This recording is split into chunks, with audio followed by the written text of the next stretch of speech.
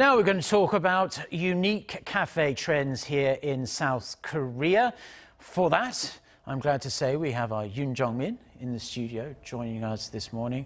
Uh, wonderful to have you with us. So normally when we think of run-of-the-mill uh, coffee shops, we think of just regular cafes, but in Seoul and other cities around South Korea, there are a lot of unique trends going on. Well, yes, Mark.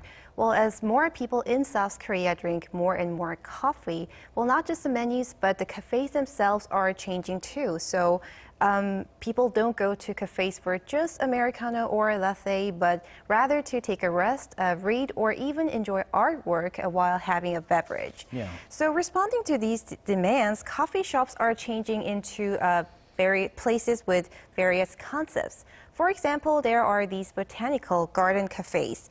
A coffee shop in downtown Seoul displays a variety of plants at the shop to provide a more pleasant environment for their customers. People can relax while enjoying the fresh air.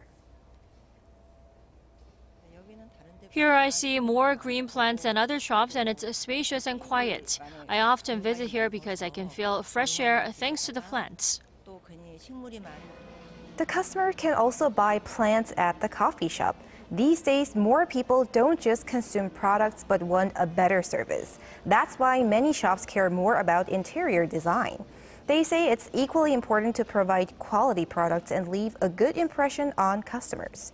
And cafes are becoming a nice place for emotional healing in the busy city. Well, it's easy to see why demand is rising so much for these new types of cafes here in uh, Seoul. You might pay a bit more for a cup of coffee, but it's worth it to be in nicer surroundings. You mentioned there were a number of unique trends going on uh, here in South Korea in regards to cafe culture. So, what else do you have for us? So um, now I want to talk a little bit about gallery cafes. So uh, people visit these coffee shops when they want to enjoy artworks and uh, talk about them with others. So as you can see in the video there, uh, paintings are lined up alongside a corridor. You might wonder whether this place is an art gallery, but in fact it's a coffee shop. Customers say they like the idea that they can enjoy cultural life at a nearby coffee shop. People usually go to art galleries to enjoy paintings, but here I can enjoy them with coffee. I came here to see paintings with some drinks. This place is divided into the exhibition section and the cafe section. Here, our customers can get emotional healing with artworks. The garden is also nice here, so I hope this place to be shared by many people. The shop also sells the paintings too, and the exhibition plans by different painters are updated. Also, some groups regularly gather at the shop to read books together for a discussion. So now the coffee shop is even functioning as a place to talk and learn. Well, it really is becoming like a double function then. Uh, you can drink coffee but also purchase plants or paintings as well sure. if you want, if you go to one of these cafes.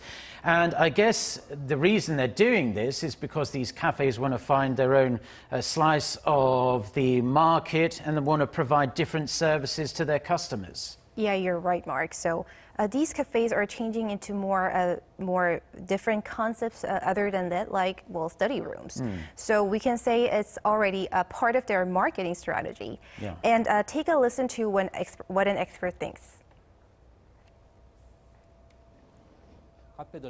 There are already a number of cafes in Korea, so they have to be competitive. More coffee shops are changing into a nice place for a rest and a chat. They want to provide more premium services than other shops. Experts say this trend will keep growing as there will be more and more demand from customers seeking quality service.